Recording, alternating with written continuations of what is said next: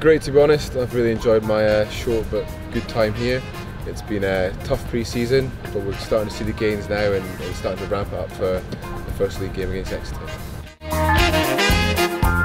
Um, highs is a tough one when you're doing pre-season, but luckily um, I was involved in the Singha Sevens a couple of weeks ago, so winning that was obviously the high. Um, real chance to see where we got to physically, um, especially with our fitness, so that was great.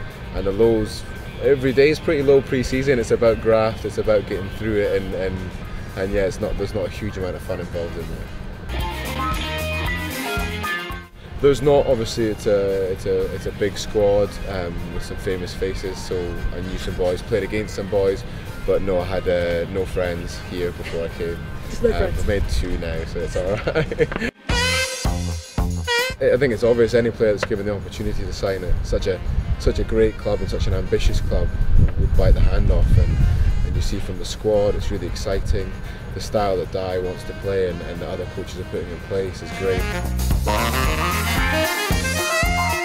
My overall impression's just been everything is world class from top to bottom. I've been I've been yeah I've been really really impressed by everybody and everything. So world class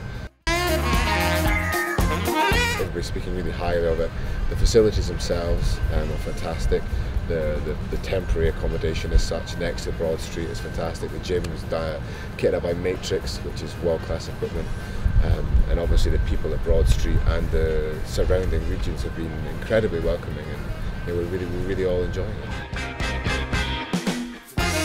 Uh, there's a few, uh, luckily to be in the changing room with a few. Uh, yeah, Guy Thompson, Alex Rieder, Haskell when he turns up is, chatty, but obviously he's a busy man, busy man. um, yeah, there's a lot of chatty guys, a lot of friendly faces, so no, it's great. Nothing, no, unfortunately. Um, put all my time in here. Um, once once I'm done here, I'll, I'll, try and come up with something else interesting.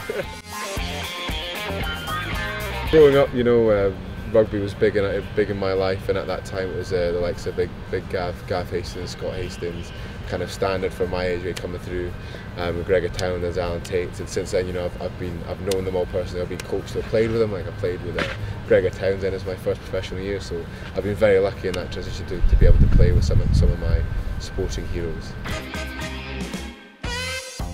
The Singha Sevens, they were really noisy, really got behind us and it definitely made an effort, especially in those last closing minutes against Exeter when we were holding on for dear life. I think you know the cheer maybe blown Rieder just that little bit to push the guy into touch.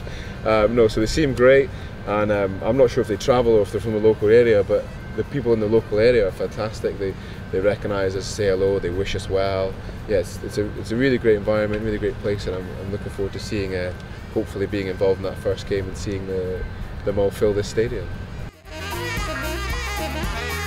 Singha Sevens winning, you know, it's fantastic. We'll, we'll go with